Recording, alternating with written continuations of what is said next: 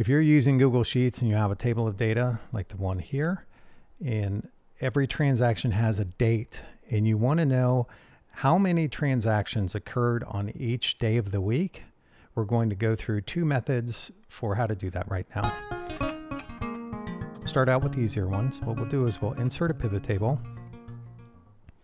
We'll tell it where the data is. So the data range will be A1 through A1001.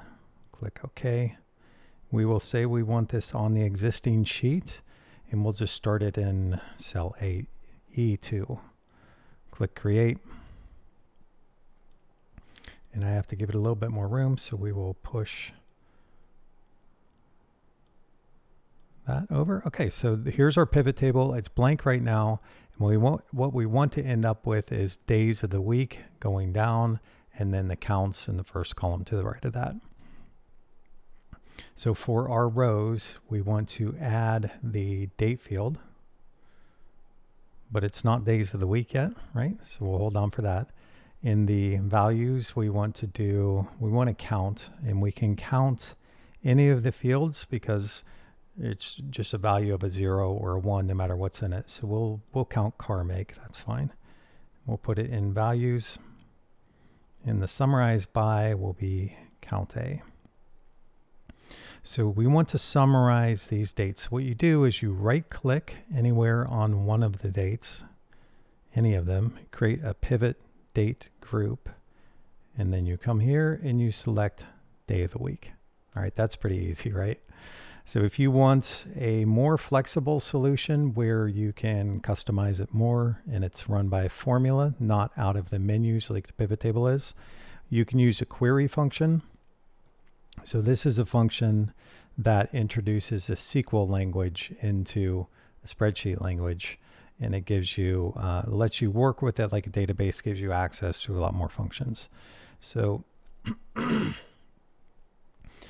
going to get a little head start and just copy the pre-made formula.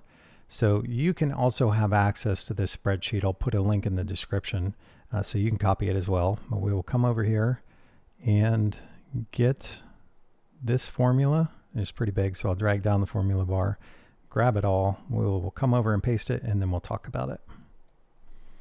Okay, so this is the second way to get totals by day of the week. And what we've done here is that uh, we've used the query function, which we just talked about. You have to give it the range. So I gave it the A1 through C1001. So it's looking at all of this and then the language in here is completely different. If you've never used a query function or SQL, you really uh, will be thrown back by this at first. But if you look at it, it's really kind of like plain English. Uh, so I will put some returns in here to make it easier to read. And to do that, I'm just holding down the Alt key and pressing enter. So we're going to do select then group by, and then we'll talk about each one of these. So what this is doing is, is saying a select. It always has to start out with select and you tell it what to show basically. So we're saying, look, show the day of the week of column two.